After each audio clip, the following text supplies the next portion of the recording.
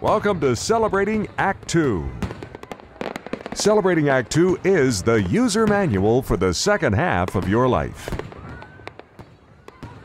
Hi, I'm Manny Pacheco here at Cinecon for Celebrating Act 2 for Forgotten Hollywood. We're here with Rob Stone, curator at the Library of Congress.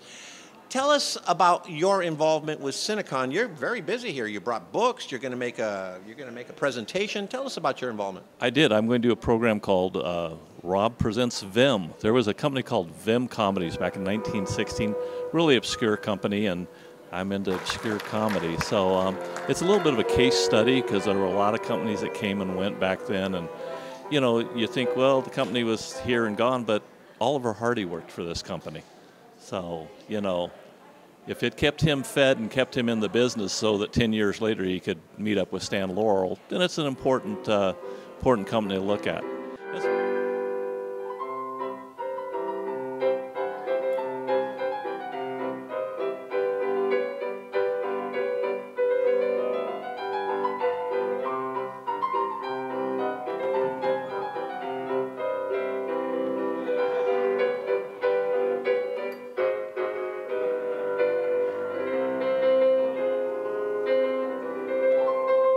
As far as Cinecon goes, I, I, wrote a book some old 25, 26 years ago, and the first place I presented it at was Cinecon. So, and you got a new, and you got a new book too. I do. I have a, the new book's called Pokes and Jabbs: uh, the before, during, and after of the Vim Films Corporation, and it is about this obscure little company that was around for about three years, but you know, it gives gives you a look at where the film industry was, say, 100, 120 years ago.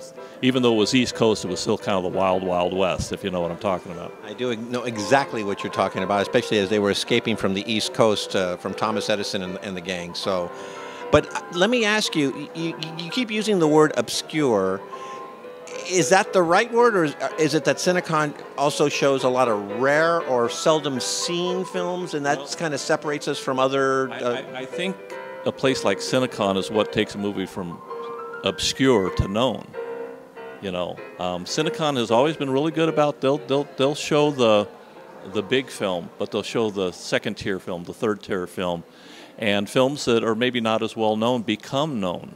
Um, you know, I where I work at, uh, we we let films out to other places, and we will get phone calls say, "Hey, we saw this at Cinecon. We want to show it," and it'll be a film that hadn't been seen for years and years and years. So Cinecon's really good about you know showing obscure films. The trick is they're not obscure after Cinecon's had them. They be, they they they gain new life.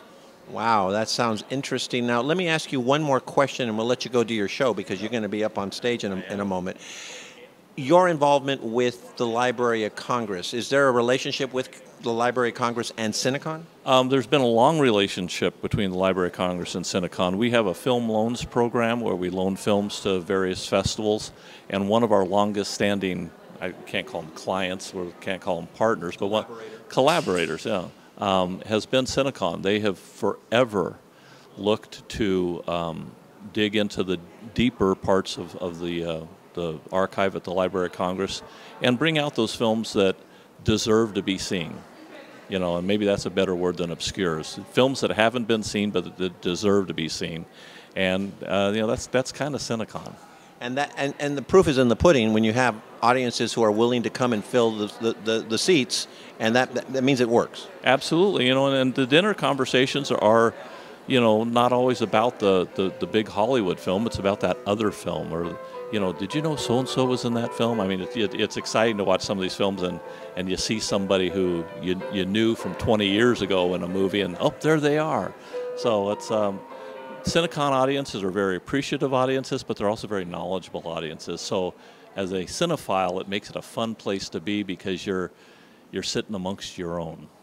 I like that. Rob Stone, of course, is a curator at the Library of Congress. He's here at Cinecon making a presentation, has his books on hand, and I'm Manny Pacheco with Forgotten Hollywood, celebrating Act Two here at the historic American Legion Theater. For more on Celebrating Act Two, visit our webpage, follow us on Facebook, subscribe to us on YouTube and tell your friends. Celebrating Act 2 is the user manual for the second half of your life.